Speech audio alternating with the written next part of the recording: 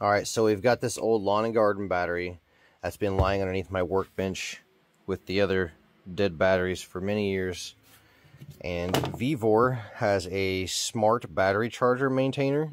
I wanted to try out, I saw their ad or a, uh, a video made by a fellow uh, creator that said that these things can revive dead batteries and I was very curious. This thing's been dead for a while. As you may know, batteries are very expensive.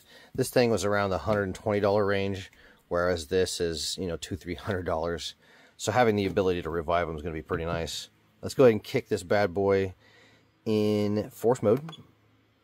Now we could go automatic from here and just press go, but I know this is a 12 volt battery, so we're going to select 12 volts, 10 amps, and hit the go button. You can hear it click on there. Now, these things are not only good apparently for reviving, but uh, the reason I got it is basically to, to maintain. Um, that's going to be very handy. And put your battery in a maintenance cycle, especially during the winter. You don't want to leave your batteries just kind of hanging out, especially if they're unused. You put it on a uh, smart charger like this it'll help maintain the battery and improve the longevity of that battery. But today, I'm going to test out and see if this thing will revive this old uh, lawn and garden battery. I'd be very surprised if it can because this thing's been dead for a long time. You guys stay tuned. I'll uh, I'll keep you guys posted. Thanks for tuning in. If you guys uh, could help me out with the algorithm, uh, drop a comment, emoji.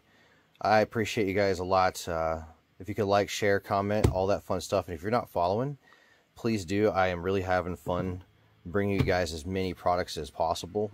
And I've got a lot of VEVOR products, like the VEVOR hose reel and the VEVOR shop fan, which is, oh, oh, I love this thing. It's It's been amazing. My son loves playing with this. It's, uh, it reaches everything I need. I have it near the door because I can prop the door open and pull it out the door, and it actually reaches everywhere I need it to out in the driveway. You guys check out VEVOR. Today's video is the smart battery charger and maintainer and rectifier. Let's see uh, let's see how how well it does in reviving this old dead horse. You guys stay tuned. I appreciate y'all.